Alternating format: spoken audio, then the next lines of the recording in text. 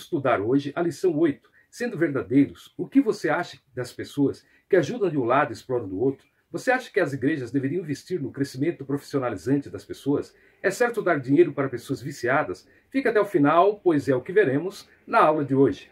A graça e a paz de nosso Senhor e Salvador Jesus Cristo seja com todos vocês que nos acompanham aqui no canal Rádio Evangélica Galileia. Saúde e paz a você e a toda a sua família sejam multiplicadas em nome de Jesus Cristo. Do começo até o fim, vamos te dar a leitura e interpretação do texto com vários subsídios suplementares.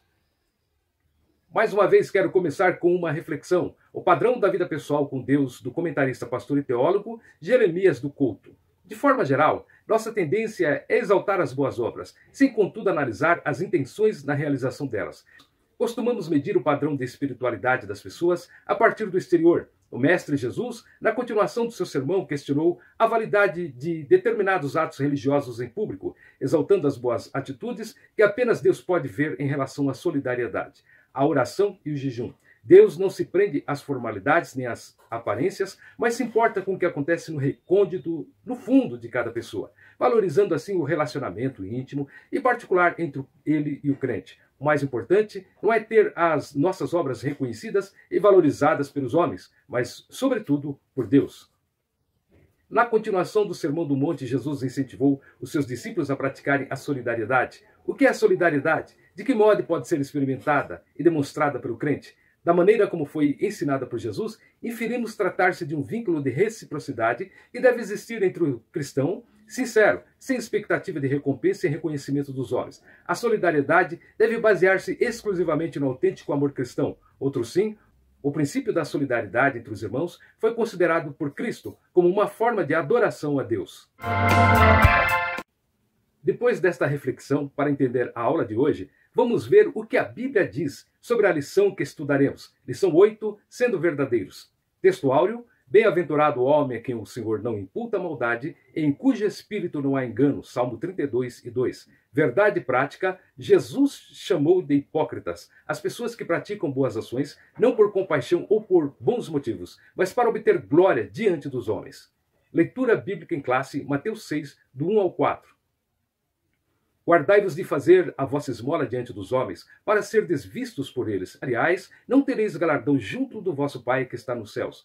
Quando, pois, deres esmola, não faças tocar trombeta diante de ti, como fazem os hipócritas nas sinagogas e nas ruas, para serem glorificados pelos homens. Em verdade vos digo que já receberam seu galardão. Mas, quando tu deres esmola, não saiba a tua mão esquerda o que faz a tua direita, para que a tua esmola seja dada ocultamente, e teu Pai, que vem em secreto, te recompensará publicamente. É um prazer e alegria tê-lo aqui com a gente, meditando na palavra de Deus. A vocês que assistem, clicam no gostei e comentam na descrição, nosso muito obrigado. Aos que não nos conhecem, este é o canal Rádio Evangélica Galileia. Eu sou o pastor Osmar Prates, a serviço de Deus na Assembleia de Deus do Belém, São Paulo, não por merecimento, mas por misericórdia de Deus. Clique no gostei, comente na descrição, compartilhe o vídeo e se inscreva no canal. Ative as legendas para facilitar o entendimento e as suas anotações. Assista duas ou três vezes para assimilar bem o conteúdo. Fique até o final porque tem muita informação para você. Lição 8: Sendo verdadeiros, uma ótima aula para você. Os ensinamentos de Jesus no Sermão do Monte têm o objetivo de fazer com que sejam seguidores de Cristo comprometidos com os valores do reino de Deus, uma consequência de quem vive esses valores é buscar ser aprovado por Deus e não aplaudido pelos homens, além de vigiar contra a hipocrisia, conforme Lucas 12:1. Nesta lição veremos que Deus condena a hipocrisia de pessoas que praticam boas ações não por compaixão ou outros bons motivos, mas para obter glória diante dos homens. Na sequência do Sermão do Monte, o Senhor trata agora de três temas que se interdependem e revelam o padrão da nossa vida pessoal com Deus: a solidariedade, a oração e jejum. Nos três casos, como nas questões anteriores já tratadas, outra vez a abordagem ordena a formalidade da aparência para focalizar que o mais importante não é ter os nossos atos vistos e reconhecidos pelos homens, mas, sobretudo, por Deus. Vamos agora com o pastor e teólogo Ociel Gomes ao tópico Primeiro, o ato de dar esmolas e a hipocrisia. Falaremos sobre a definição de hipócrita, a justiça social, as três práticas da ética cristã. Subtópico 1. Definição de hipócrita. No grego, a palavra para hipócrita significa alguém que interpreta um papel, uma personagem, uma obra teatral. O uso desta palavra no Evangelho de Mateus caracteriza o hipócrita como uma pessoa cujos atos pretendem impressionar os observadores, de acordo com Mateus 6, de 1 a 3 e 16 ao 18, cujo foco está nos enfeites e não nas questões centrais da fé, e cuja conversa espiritual esconde motivos corruptos. Em Mateus 6, o hipócrita está em contraste com a pessoa de fé, cujo relacionamento com Deus é secreto. O grande desejo do hipócrita é sempre de aparecer exteriormente, mas o problema é que o lado interno, a sua verdadeira natureza, não é revelado. Ninguém sabe o que há no íntimo do ser humano. Somente Cristo é quem conhece a natureza humana, como dito em João, capítulo 2, e versículo 25. O cristão que deseja vencer a hipocrisia tem de ter seu coração preenchido pelo amor de Cristo. Com esse amor real no coração, não há como cristão praticar uma coisa interiormente ser de outra forma, conforme escrito em Mateus 5,48.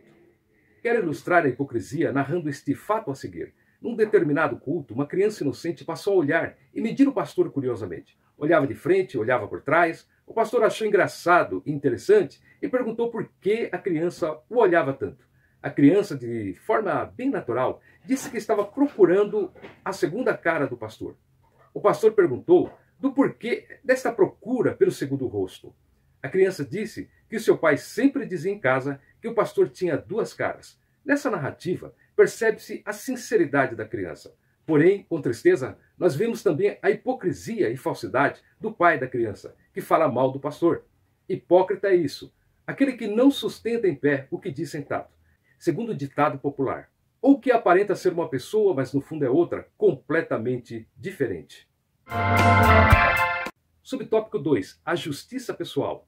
Por intermédio da justiça pessoal, os discípulos de Jesus deveriam viver diferentemente dos fariseus, os quais projetavam em suas práticas religiosas mostrar ao público sua grande espiritualidade.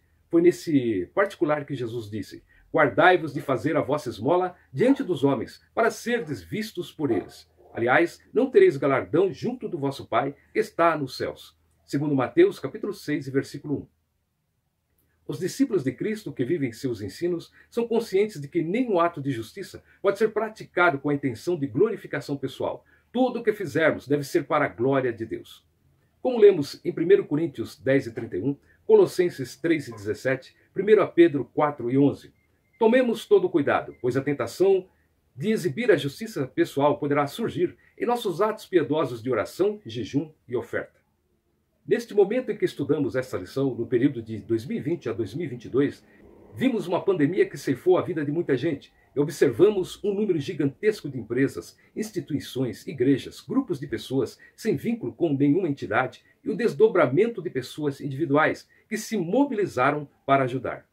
É claro que muito movimento, nesse sentido, foi feito por amor e vontade de ajudar com espírito de solidariedade mas também muitas instituições sociais, governamentais, empresariais, religiosas, até pessoas individualmente ajudaram porque foram constrangidos, foram empurrados a fazer algo, porque alguém criticou ou demonstrou o pouco caso que tiveram para socorrer os sofredores diante da pandemia terrível que nós passamos. E ainda muitas instituições empresariais, governamentais, religiosas e pessoas em geral ajudaram para ganhar algo em troca. Por exemplo, para aparecer na mídia, em troca de algo do governo, por motivo político e etc. Vimos até mesmo corrupção. Era contra esse tipo de ajuda que Jesus Cristo falava. Pois os que de forma negativa assim procedem não precisam nada de Deus, pois já receberam algo em troca. Subtópico 3. As três práticas da ética cristã. Tiago falou que a religião verdadeira tem como marca o serviço ao próximo que também é um culto a Deus, conforme Tiago 1,27. Jesus deixa claro que nesse serviço cristão não podem faltar a oferta, a oração e o jejum. Porém, no seu ensino, o propósito desses serviços piedosos não poderia ser deturpado, como fizeram os escribas e fariseus. Interessante observar que as três práticas da ética do serviço cristão envolvem os nossos bens materiais e financeiros, pois a oferta mexe com o bolso, também o nosso espírito e alma, pois a oração é elevada a Deus em súplica, agradecimento e louvor.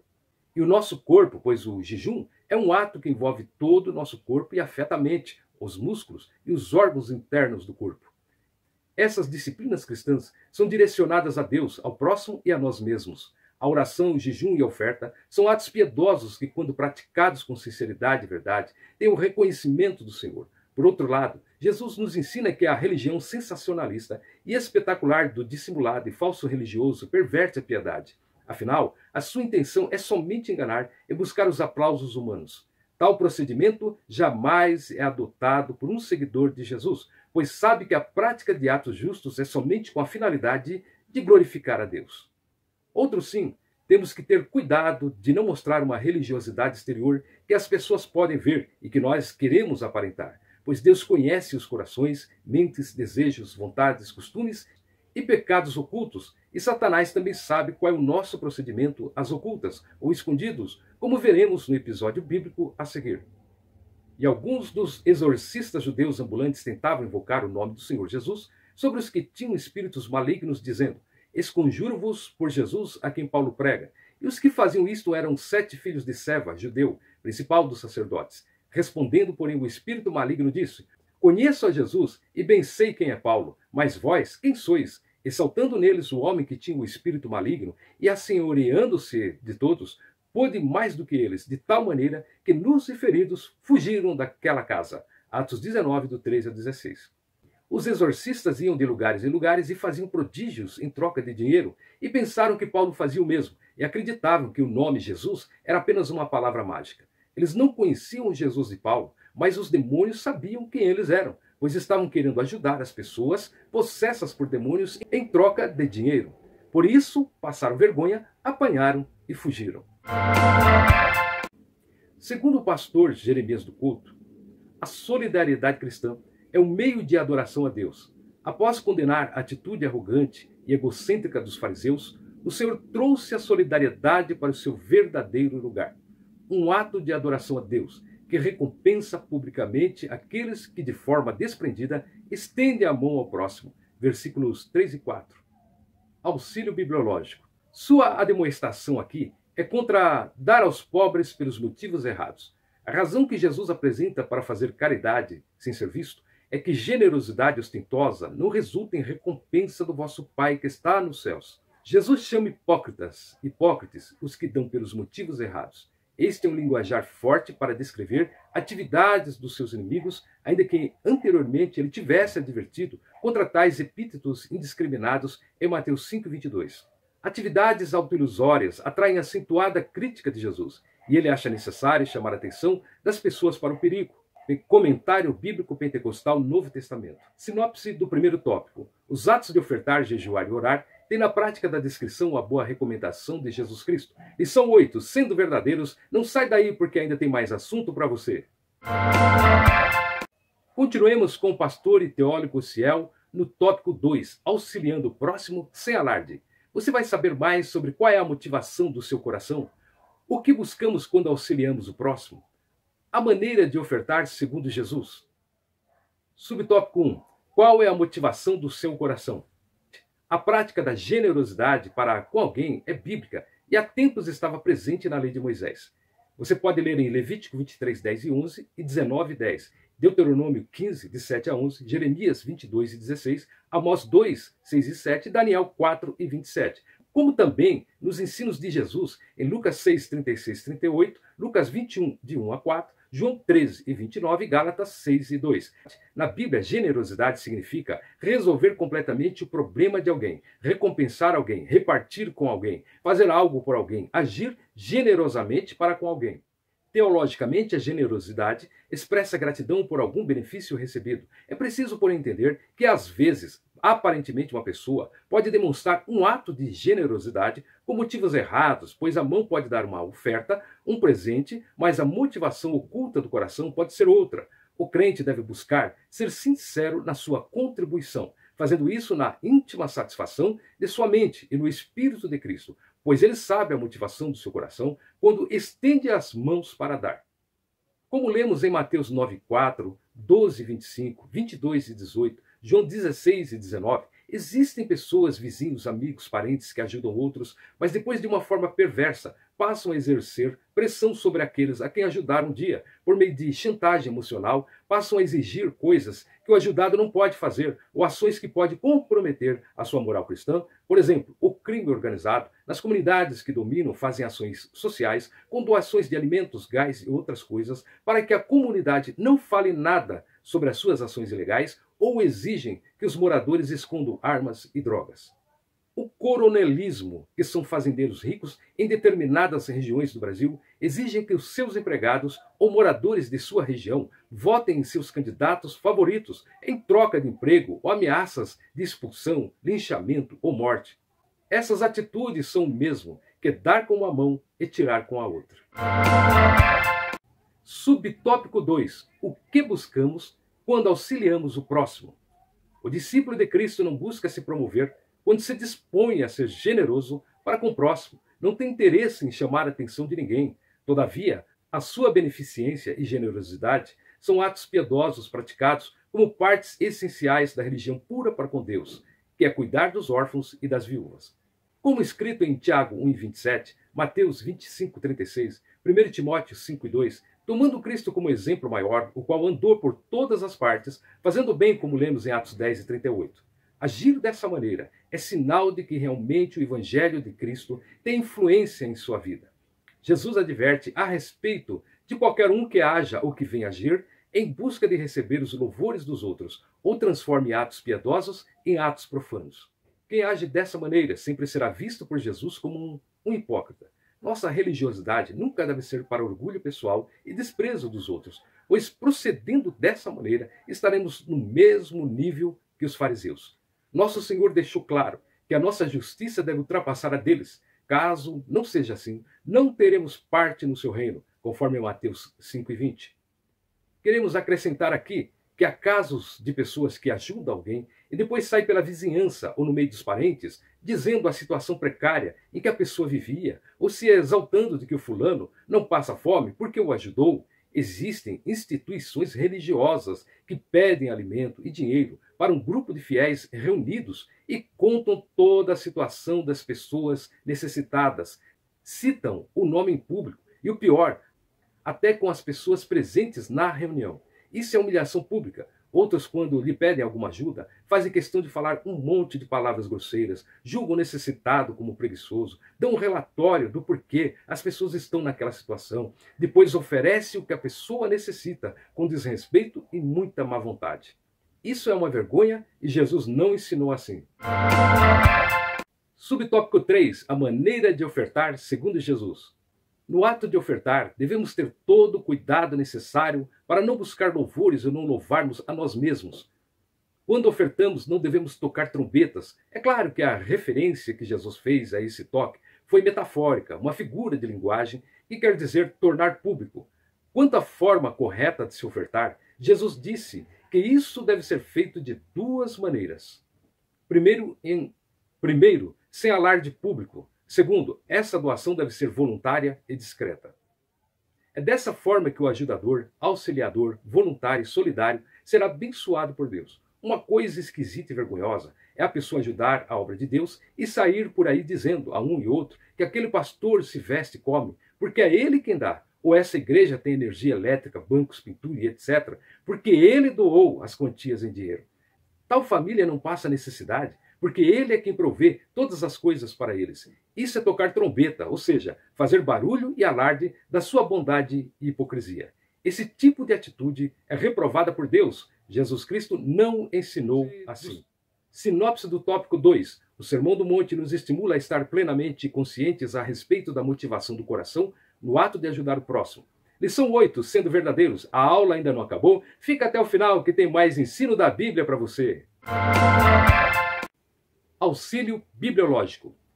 John Wesley, que era um cuidadoso estudante do texto grego e surpreendentemente ciente da importância da crítica textual, traduziu a primeira parte deste versículo de Mateus 6 e 1, como se segue: Atentem para não praticarem a vossa justiça perante os homens, para serem vistos por eles.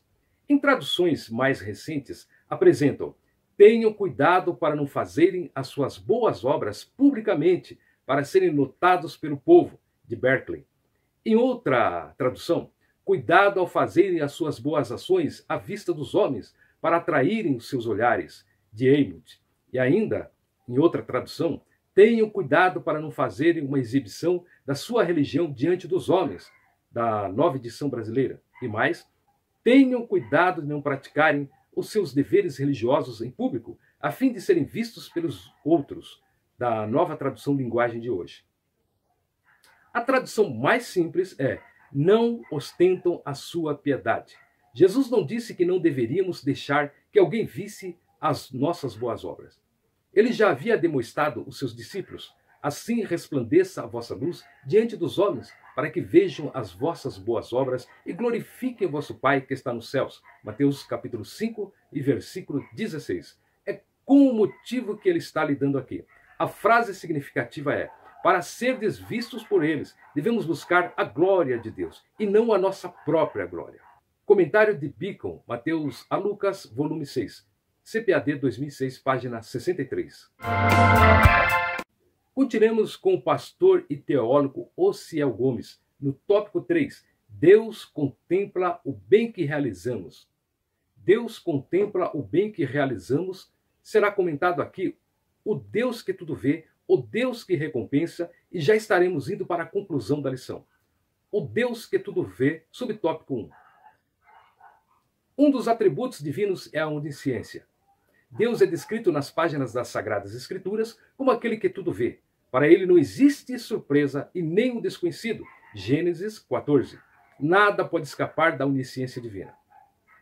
Conforme lemos em Gênesis 16 e 13, Salmo 139, Mateus 10 e 30, Hebreus 4 e 13 e João 21 e 17. Seria triste demais para nós servirmos a um Deus que não tem o controle das coisas e nem sabe o que vai acontecer. O que nos dá segurança é que até aquilo que vamos pedir, ele já sabe, conforme Mateus 6 e 8.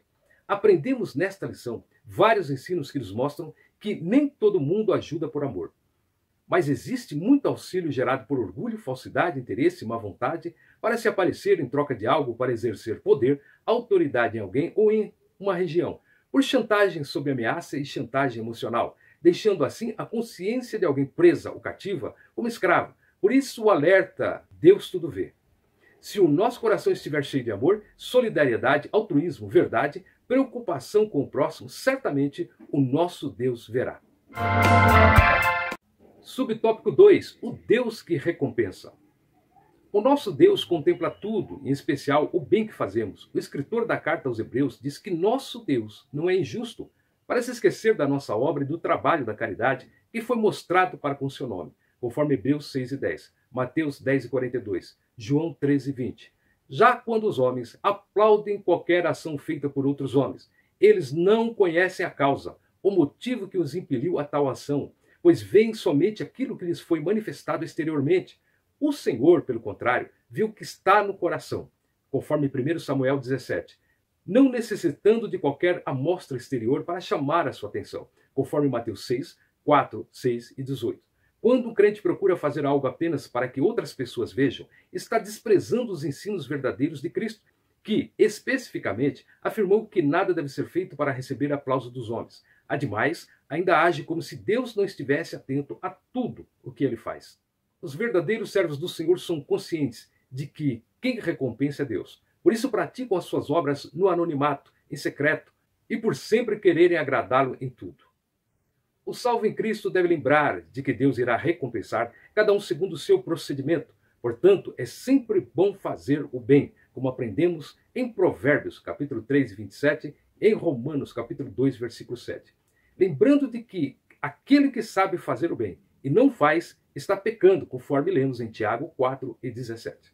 Ainda quero repetir, quando ajuda, auxílio e solidariedade é altruística, de amor, de companheirismo, o próprio Deus recompensará a alma generosa e bondosa que assim socorre o seu semelhante. Quem dá aos pobres empresta a Deus, o qual virá a pagar com juros largamente vantajosos, conforme lemos em Provérbios 19 17. Portanto, há uma recompensa e bênção especial da parte de Deus para todos que exercem amor e misericórdia pelos sofredores. Sinopse do tópico 3. As palavras dos seguidores de Jesus devem apresentar retidão e honestidade. Lição 8, sendo verdadeiros, já já estaremos concluindo os comentários desta lição. Será que todo mundo deve ser ajudado com dinheiro, roupa e comida?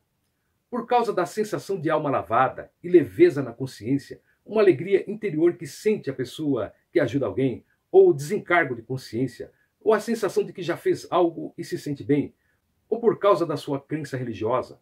Muita gente dá dinheiro para qualquer um que encontra, inclusive gente que explora e aluga crianças para pedir na rua, pedintes mentirosos que se fazem de necessitados e doentes de mentira. E mais, dão dinheiro para viciados em drogas e alcoólatras. Essas pessoas que vivem recebendo ajuda assim, explorando pessoas generosas e de bem, estão em pecado diante de Deus. E quem estimula esse modo de vida, doando a essas pessoas, também são culpados diante de Deus. Quem doa a pessoas nesta situação o estarão mantendo sempre na pobreza, na mentira, no vício, na miséria, na cegueira e engano espiritual. Pois estes não estão sendo ajudados realmente. Na verdade, estarão sendo afundados no lamaçal do pecado. Suas vidas nunca mudarão para melhor. Quem dá dinheiro a viciados estará jogando terra em seu caixão, ainda antes dele morrer de overdose ou assassinado em alguma esquina por aí. Isso acaba se tornando uma ajuda prejudicial. Agora veja este provérbio chinês: Dê ao homem um peixe e ele se alimentará por um dia. Ensine um homem a pescar e ele se alimentará por toda a vida. Este é um antigo provérbio chinês atribuído a Lao Tse, importante filósofo da China antiga. Devemos sonhar que um dia Todas as igrejas cristãs terão escolas profissionalizantes para as crianças, adolescentes, jovens, idosos e também terão escolas, faculdades e também invistam em hospitais e que saiam na frente promovendo o progresso do país e o crescimento espiritual, financeiro e social dos membros e das pessoas que precisam de salvação. Onde o evangelho chega, a vida das pessoas que precisam e necessitam devem ser transformadas para melhor. Tem que haver crescimento espiritual e crescimento social. Por meio de Jesus, ficamos cientes de que ele deseja que andemos na verdade, sejamos honestos, que a nossa justiça ultrapasse a deles, os escribas e fariseus, como em Mateus 5,20, em todos os aspectos e sem jamais buscar a exibição. Eu quero saber agora a sua opinião. Escreve aí na descrição do vídeo o que, você acha das pessoas que ajudam de um lado e exploram do outro. Você acha que as pessoas, igrejas, deveriam investir no crescimento profissionalizante das pessoas? É certo dar dinheiro para pessoas viciadas? Tem departamento de assistência social na sua igreja?